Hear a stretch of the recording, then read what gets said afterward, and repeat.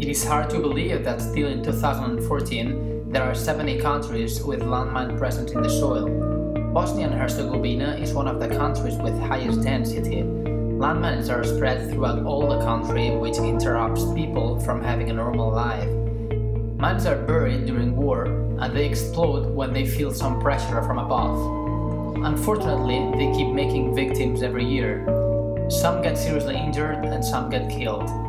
There are many detection methods using animals or even terrestrial robots. However, these methods are extremely slow and dangerous. So CATUAV, Telespazio, and European Space Agency came up with the idea of trying to detect the mines from the air. This method is much faster than the other and there is no explosion risk. CATUAV designed and manufactured a UAV made of airframe, motor, electronics, batteries, and optical sensors in order to be able to detect the landmines' coordinates from the Earth. This mission awakened a lot of interest throughout the whole country, and many TV channels didn't want to miss it.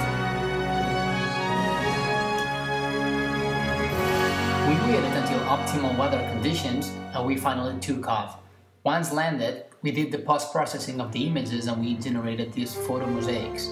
By running a set of algorithms, we were able to calculate the chances of landmine presence in a determined area. The mission had a lot of success and it appeared in many TV channels. We hope to keep on developing our technology to spread around the world this technique so that instead of seeing this, we see this soon and make this planet a better place.